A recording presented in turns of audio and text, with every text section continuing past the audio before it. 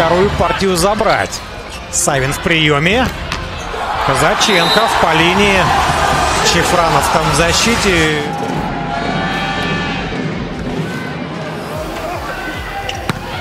Оу, по линии, как атакует Илья Казаченков. 1-1.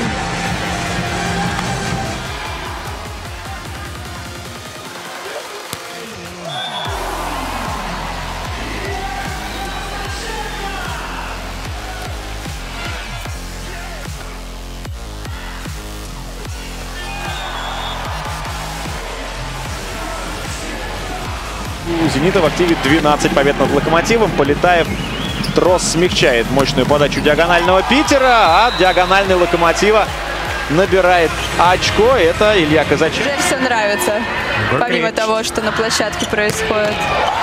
Егор Кречетов был сейчас на подаче, но, опять же, хороший прием у Локомотива получает. Бережков в приеме. Абаев на Казаченкова. И Казаченков опять все туда же, в одну и ту же точку по диагонали. Идет. Да, еще одна в Курбанова подача. Первый Ну, темп доводит. ожидаем. Теперь на краю против Гранкина один в один. Конечно, ничего с этим поделать нельзя. Очень здорово Тисевич подождал Косяка, отдал край. Напрыгался тогда, скажем, в этой встрече, но, по крайней мере, освежает диагональ. Сейчас Фламин Константинов и тот же Илья Казаченков забивает. 19-18. Александр Костадинов накатил нуждали. Ух, и блок Локомотива смягчил. Достает мяч Игорь Цесевич и передача на Казаченкова. Здесь вроде сыграл связующий Коваликов э, в защите, но Ну, скорее прилип. случайность, что он, да, сыграл, мяч прилип и Плюс 3 вновь у нефтяника. 19-16. И вколачивают гости в пол. Один на сетке оставался Илья Казаченко. Ищи строителя. И вот э, Миканович погрузился вот в этот турнир, который, конечно же, имеет очень серьезный статус. И вот так вот активно начинают гости сегодняшней площадки.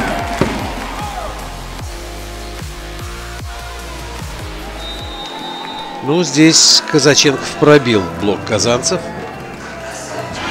Да, 54% в атаке. Хороший показатель для, для доигровщика. отличный показатель, э, чтобы на постоянной основе в течение всего э, на первом месте он имеет только один проигрыш э, в прошлом туре со счетом 2-3 московскому «Динамо». Здесь попадает по Мэтью Андерсону Илья Казаченков, поднимает руку, извините. Не просто так там на первом месте прибывают, они между собой еще и устроили, устроили самую настоящую гонку и разборку, кто займет первое место. Казаченков забивает здесь со второй попытки. И, видимо, не разобрались до конца. Снова принимала Марк Курбанов и забивает Илья Казаченков. У Чифранова хорошая подача тоже мы отмечаем с начала буквально первого сета. Казаченков вот его игра. Здесь по линии. Куркаеву, и если будет э, прием, передача будет ему, но нет, здесь передача на Илью Казаченкова, и точно Илья в этот раз по диагонали решил атаковать. Илья Скуркаев силовую выполняет. В прошлом сезоне, опять же, отмечал уже не раз- неоднократно, Илья Скуркаев все-таки предпочитал выполнять планеры. Ну а здесь Казаченков подает у Новокуйбышевска. Бережков в приеме и Казаченков через двойной блок соперника, но позволяет ему рост. Высокий волейбол в пятую зону. Играть поверху. Спасение от Кривитченко. Казаченков опять же поверху буквально играет. Чефранов прыгает, но мяч не спасает. Смотрим мы еще раз. Вот оно спасение, спасение чудесное. Партии 25-21 в первом сете и 27-25 во второй партии. Причем я отмечаю, опять же, Локомотив вел во втором сете с разницей в 7 очков. А, нет, Керминен и Панков мяч подняли. Кривиченко в защите у Локомотива. Ну и вот есть первое очко. Первое очко в атаке. И Лока выходит вперед. 6-5. Лока выходит вперед за счет пяти ошибок Динамо. На этот раз Керминен на приеме. Какой пайпище, я бы даже сказал, от подлесных грудью встречает игроки Локомотива и забирают это очко 10-7. Но здесь повтор, конечно, нужен, так как в моменте я даже не успел разглядеть, кто же встал грудью на защиту команды под такой чудовищной силой пайп. Смотрим еще раз. И вновь добежит Панков, добегает. Теперь в защите Куркаев. Илья Казаченко. 4-3. Да, но вот такое ощущение, что во второй партии Локомотив э, поймал э, свою волну и какое-то сейчас э, психологическое преимущество имеет.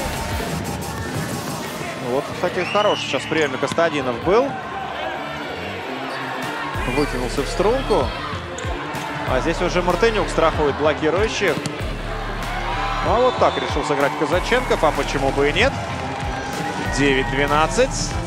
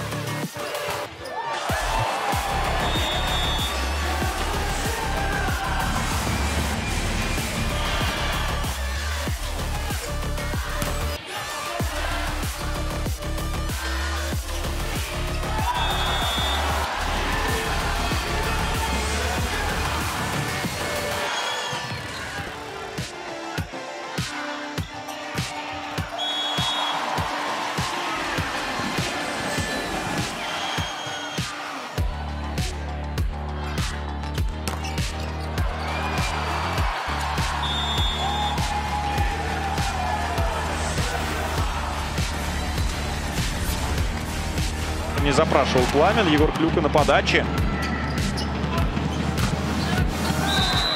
Илья Казаченков набирает свое очередное очко.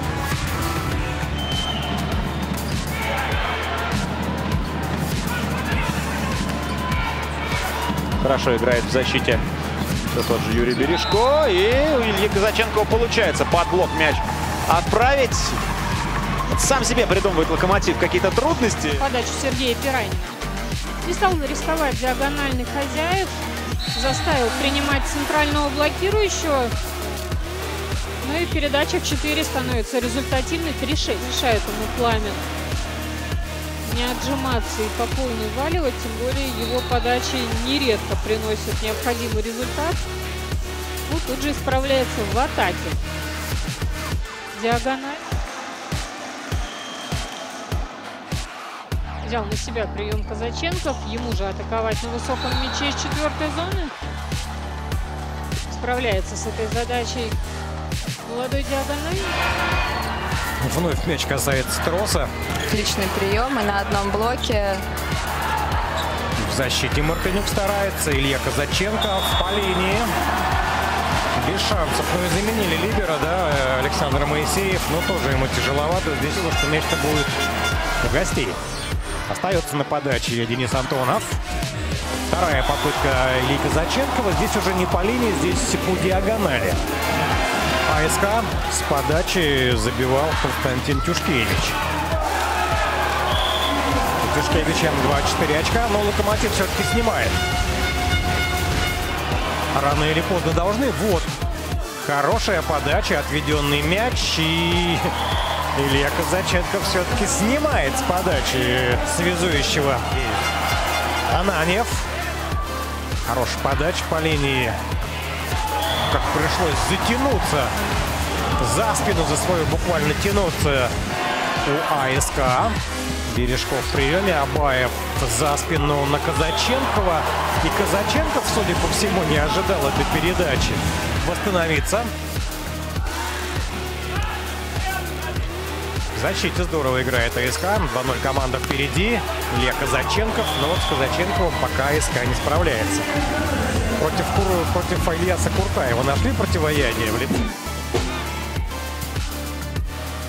Алексей Карпенко выполнил подачу. А здесь играющий так Илья Казаченков. Калачивает мяч. Плохо. Панков зарядил, но там был Мартынюк. А здесь Казаченков попадает. 16-9.